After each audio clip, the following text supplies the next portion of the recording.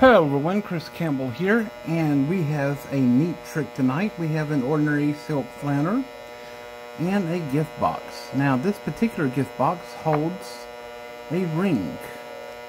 And not just any ordinary ring, but it is a ruby ring. Just a plain ordinary ruby ring.